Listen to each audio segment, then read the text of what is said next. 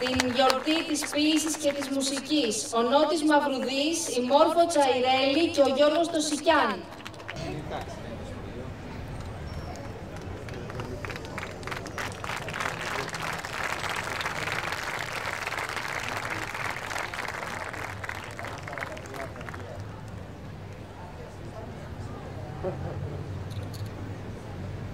Καλησπέρα σας. Χαιρόμαστε και εμείς που συμμετέχουμε σε αυτή την εκδήλωση. Συνήθως ε,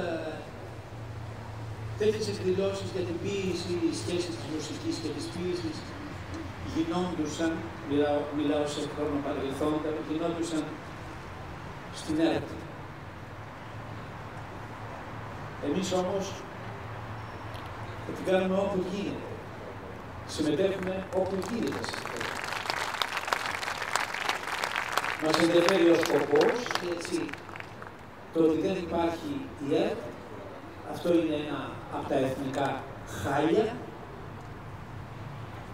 και συμμετέχουμε σε αυτή της κεντρικής πλατείας πλαθμόνος.